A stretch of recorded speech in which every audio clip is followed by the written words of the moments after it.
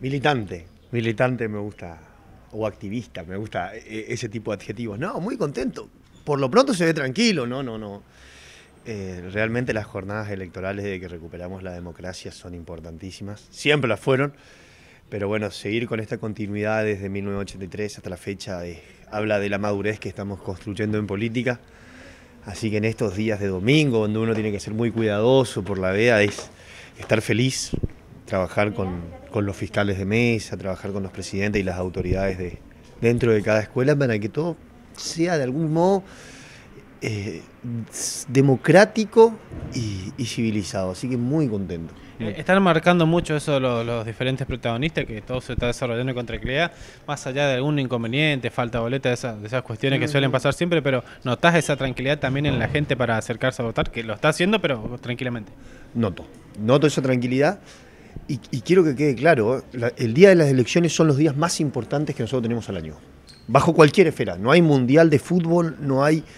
eh, muchas veces uno dice tranquilidad y es tan sano porque no hay evento más importante en la sociedad total que el hecho de las elecciones. No existe otra cosa, es la expresión de la libertad, es la expresión de los valores, es la expresión de los deseos de cada uno.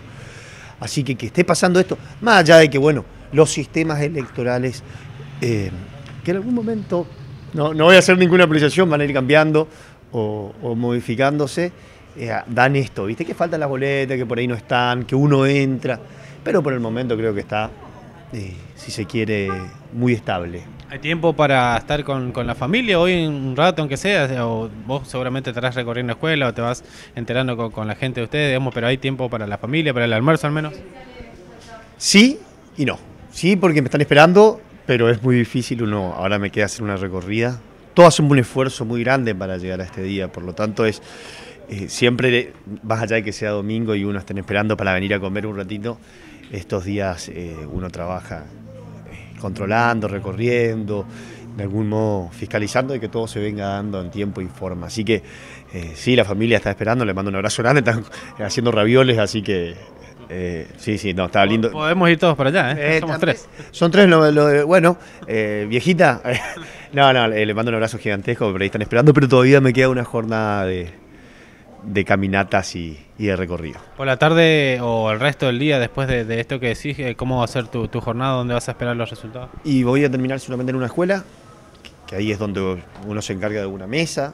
¿M? Así que creería que terminaría a 17 y media, más de eso no debería tardar lo que es el escrutinio provisorio este. Eh, y después no sé.